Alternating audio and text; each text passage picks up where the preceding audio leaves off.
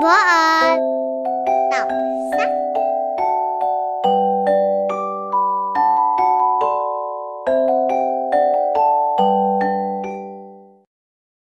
Quyển sách bố đọc hôm nay có tựa đề Cậu bé rừng xanh.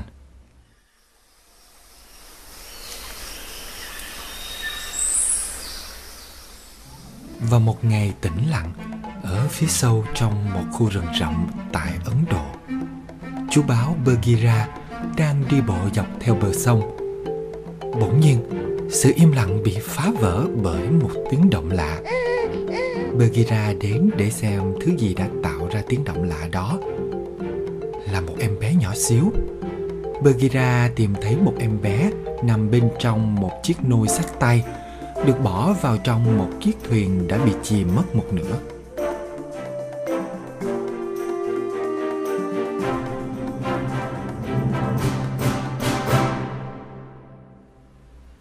Bagheera cảm thấy thương em bé. Một cách nhẹ nhàng, cậu ấy đưa cái nôi lên bờ.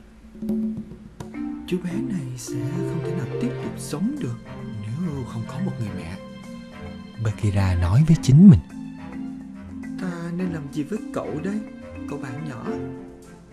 Bagheera trò chuyện và cậu bé mỉm cười với anh. Bagheera nhớ ra rằng có một gia đình sói đang sinh sống ở gần đây. Có lẽ họ sẽ nhận nuôi cậu bé. Vậy là Bagheera đưa cậu bé đến hàng của nhà sói. Khi sói mẹ và các con của mình nhìn thấy cậu bé đang nhoẻn miệng cười, họ cũng cười theo. Lúc đầu, Rama sói cha có vẻ cũng không thích cậu bé lắm, nhưng chỉ một lúc sau, anh ấy cũng mỉm cười.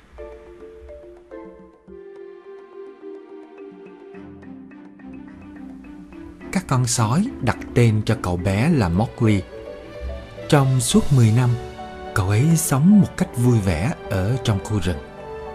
Mowgli học được rất nhiều thứ từ loài sói. Mowgli học được cách chạy như một con sói. Cậu ấy cũng học cách gãi như một con sói và cả cách giả chết như một con sói để cho vui nữa. Nhưng một hôm, có một vài tin xấu xuất hiện trong khu rừng. Hổ Sekhan đã trở lại. Con hổ đáng sợ ghét hết tất cả con người vì một người thợ săn đã bắn nó.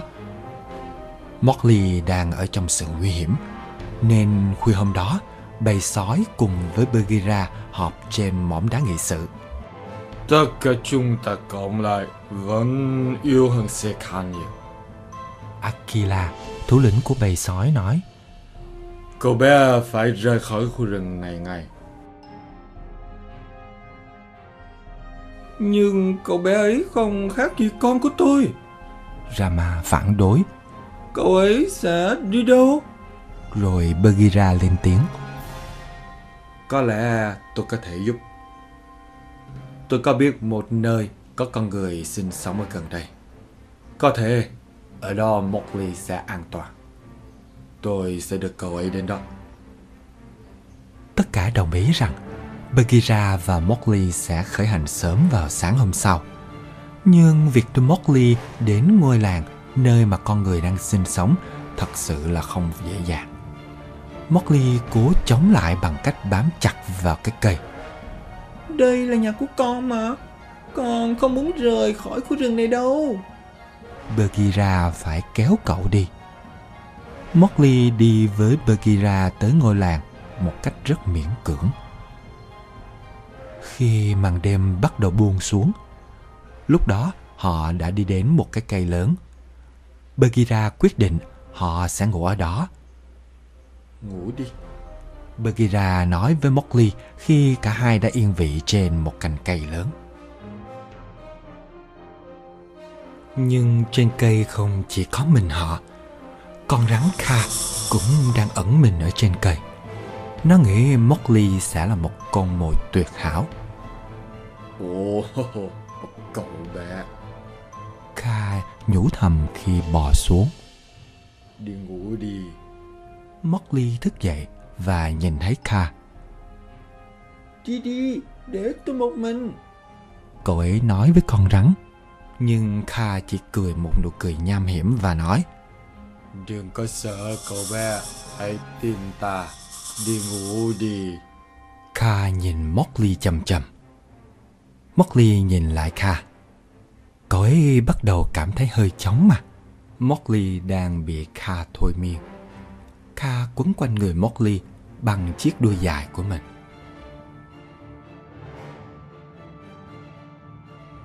Bagheera tỉnh dậy vừa kịp lúc. Mày đang làm gì vậy khó?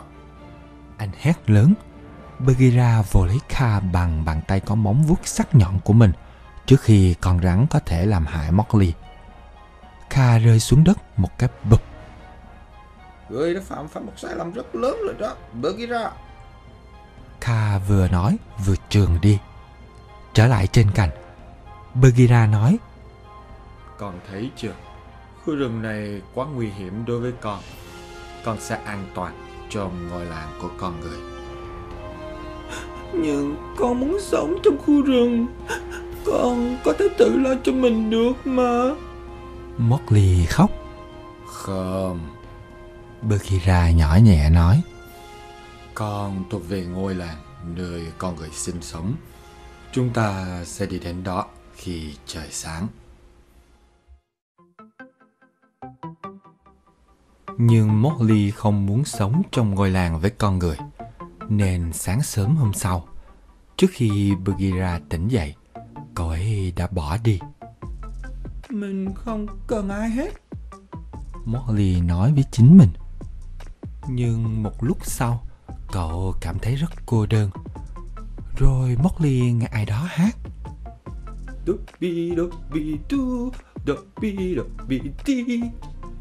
Blue Một con gấu to lớn và hiền lành đang hát Blue thấy Mowgli đang một mình Xin chào anh bạn nhỏ.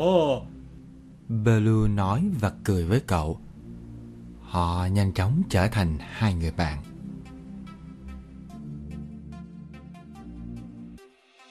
Chú có thể dạy con trở thành một con gấu được không? Mowgli hỏi. Tất nhiên rồi.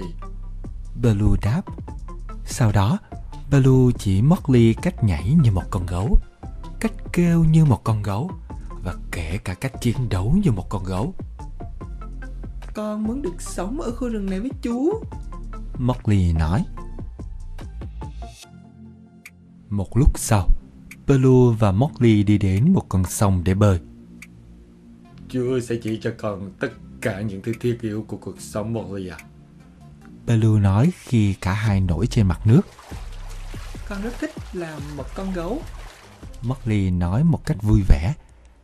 Cả hai đều không nhận ra rằng mình đang bị những con khỉ theo dõi.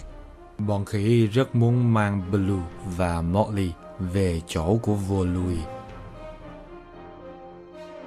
Trước khi Blue có thể phản công, các con khỉ đã bắt lấy Mowgli. Cứu con. Nhưng một cách nhanh chóng, các con khỉ đã đưa cậu lên ngọn cây. Không lâu sau, họ đã rời xa con sông. Khi các con khỉ về đến nhà, chúng đưa Mowgli đến chỗ vua Louis. Thì ra mày là một con người. Vua Louis nói, Điên rồ thật. Con không có điên, ông mới điên á. Mowgli nói, Hãy ăn vài quả chuối nè. Vua Louis nói, đẩy hai quả vào miệng của Mowgli. Bây giờ nè, Ông ấy tiếp tục nói, tao có thể giúp cho mày sống ở trong khu rừng này. Chúng ta thỏa thuận vậy nhé. Dạ, thưa ông.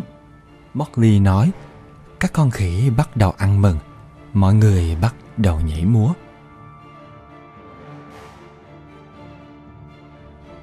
Khi đó, Baloo đã đến được khu vực đổ nát, nơi những chú khỉ đang ở.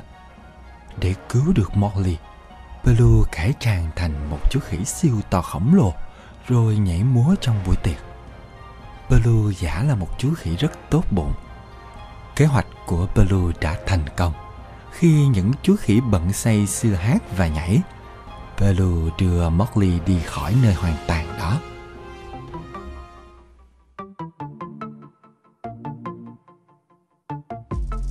Cảm ơn chú vì đã giúp con. Mowgli nói Con không muốn làm một con khỉ. Con muốn làm một con gấu Giống như chú Nhưng con không phải là một con gấu Mowgli à. Baloo nói một cách buồn bã Khu rừng này quá nguy hiểm đối với con. Đúng là con thuộc về ngôi làng. Chú cũng y chang như là Bagheera Mowgli hét lớn. Con không muốn sống ở trong ngôi làng chung với con người đâu. Con có thể tự lo cho mình. Nói xong Mowgli bỏ đi. Cậu ấy không nhận ra rằng Có một cơn bão sắp sửa ập tới.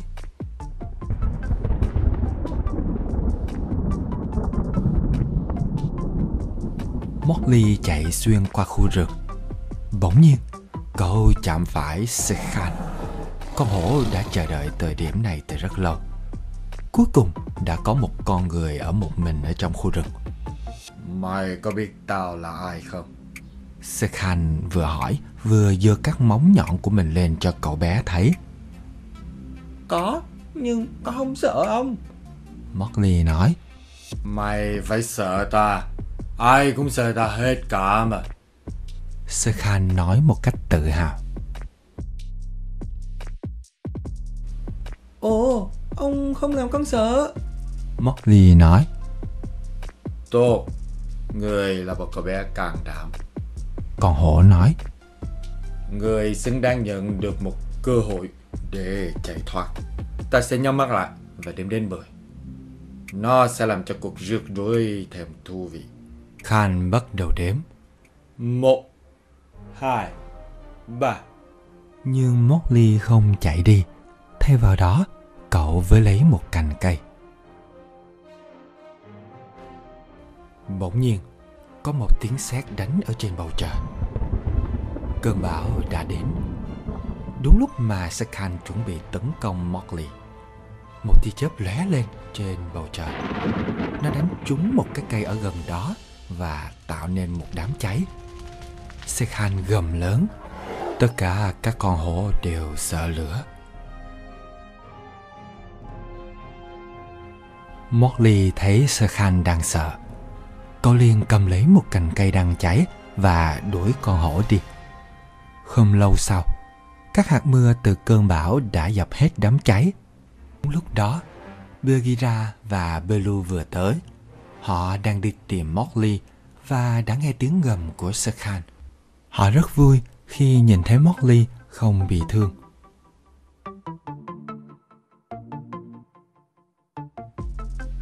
Chúng ta rất vui khi thấy cậu không sao Anh bạn nhỏ à Blue nói khi Mowgli chạy đến ôm anh ấy.